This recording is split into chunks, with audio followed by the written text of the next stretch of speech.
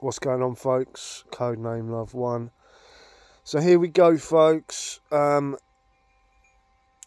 the YouTube shills exposing themselves as fucked, soulless, fast asleep, morons, Walking Dead, etc., etc. This is Martin Liedtke, who's just spent time with the other fucking shill CIA asset that is Archaix with his Phoenix bullshit. Um, so let's listen to Martin Liedtke and his 64.4 thousand subscribers. A truth teller, don't you know? Let's listen to this lie, people. Let's listen. More recent and in different geographical location than what they're telling us. And I do think it's a real thing. So I'm saying that Jesus is a real thing, and I'm saying that Jesus, right, was a really funky dude. I mean, that guy was proper groovy. He wasn't going around scaring every fucker. No, was he? Was he? Was he? No, he wasn't going. Around... He said, "Fear not." Thank you. For, thank you for that. He said, "Be love." So there you go. So Martin Liedtke talking out of his fucking backside again, mate. Jesus is the demiurge. There was no historical fucking dude called Jesus. You fucking moron. It's an allegorical tale. The real Jesus that you fuckwits are trying to worship is within you.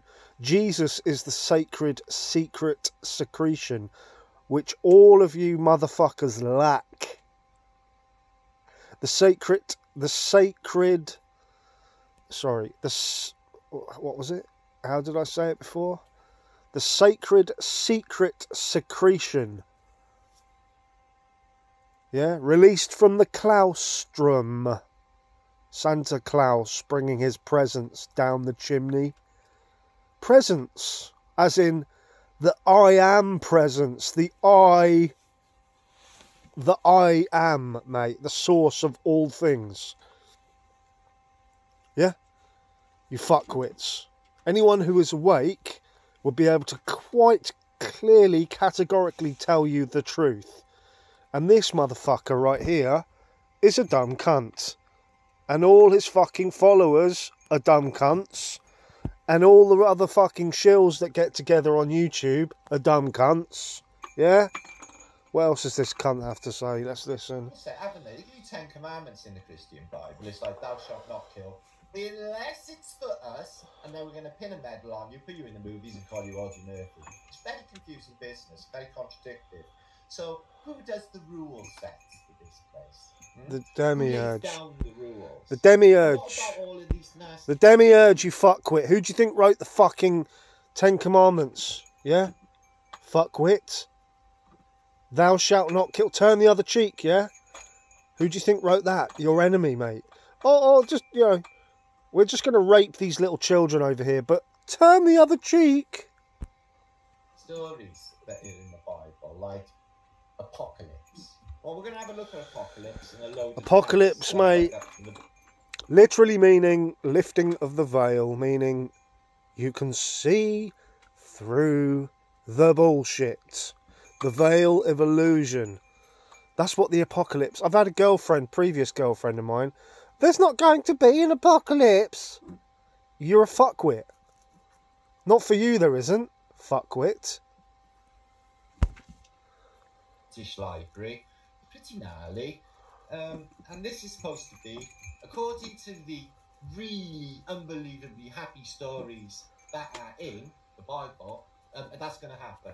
Okay, it's going to be the apocalypse, the end for everybody, and it's going to be some final judgment day where all the sinners get their asses kicked. Yeah, yeah. And the devil um, already rules the realm apparently, and all of the goods all to fuck because everyone's so shit scared um, of pussying out when it that's that's the art of mad is to not pussy out. To join club, fuck it. Okay, which is an invisible club that doesn't really exist, which is the best one to join. Okay, um, and realise that this is a control mechanism and there's actually nothing to fear. How do I know? Well, Do you know what Martin Liedtke strikes me as? Yeah, he strikes me as a fucking cross-dressing, pot-smoking cross-dresser, mate. I bet he wears fucking women's stilettos and panties. You know, proper feminine streak in him, mate. in your 57 years, I've lived through it all. I, you know, we had a thing that was going around when I was young. Everyone said that it was going to kill everybody on you. And then there was the thing that came along later. Also, do note that he's wearing glasses, yeah? Now, I'm not going to say this is a blanket statement because I've met enlightened people that, you know, occasionally put on their glasses. And obviously, as you get older and blah, blah, blah, and the blue screens and blah, blah, blah. But I will say this generally, in general, something that I have noticed if they're wearing glasses, it means they can't see. Get it? Literally, it means they can't see. They haven't got eyes to see. Yeah? The appearance is very fucking it's very important. It gives a lot away. You you can get a lot energetically from one's appearance. So if you've got thick rimmed glasses, I'm going to take it generally your third eye's fucking shut. Now, this isn't all cases. Now, there are exceptions to the rule. But in general, someone's wearing glasses all the time, most of the time, it means they're fucking blind, mate. Yeah? Um, that was the computer thingy, 2K2. Uh, I didn't really take no notice of the 2012 thing. And when it happened, I was working in B&Q, if I remember rightly, and I told everyone not to take any notice. That's a load of bollocks. We'll all be in work tomorrow. Um, and guess what happened? It was all bollocks, and we were all in work tomorrow. Now, one thing I can assure you, right, is that after all of these psyops have been run, you open the window, and the birds are still tweeting. And in 50 years, and in 100 years, and in 200 years, the birds will still be fucking tweeting.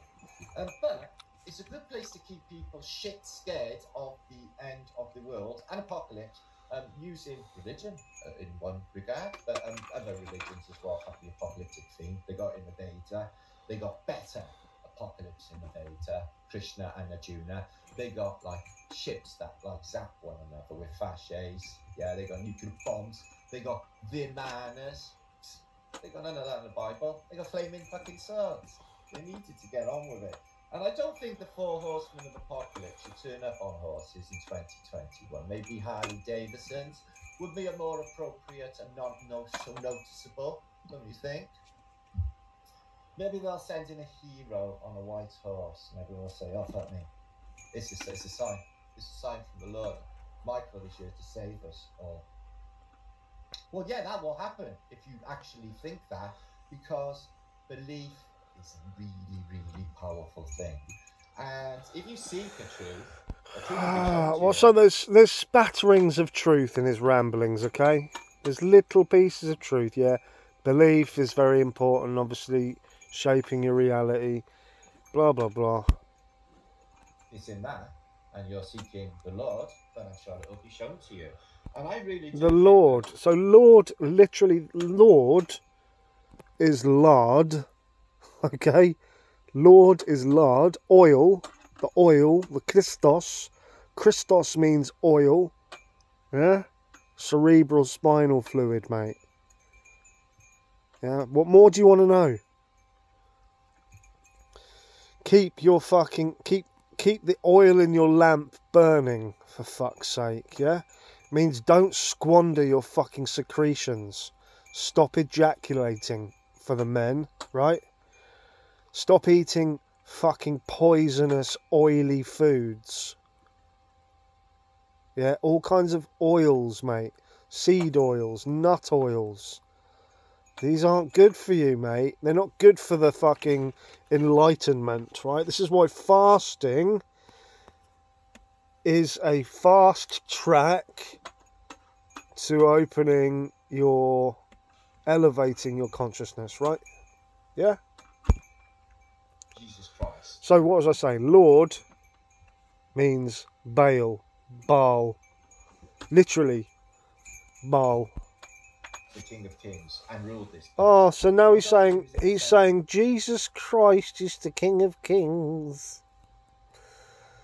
What he's actually trying to say is that the je suis French for I am, je suis I am, yes you are, yes you were. The I am, the je suis, the sacred secret secretion within you is the King of Kings and will illuminate one's presence within. Hence, finding God. But this is all hidden from the fucktards. And the fucktards keep parroting the same bullshit. Oh, Jesus Christ! He's the King of Kings! And all this fuckery. Where in actual fact, they're worshipping the demiurge, mate. Satan, the devil, the deceiver.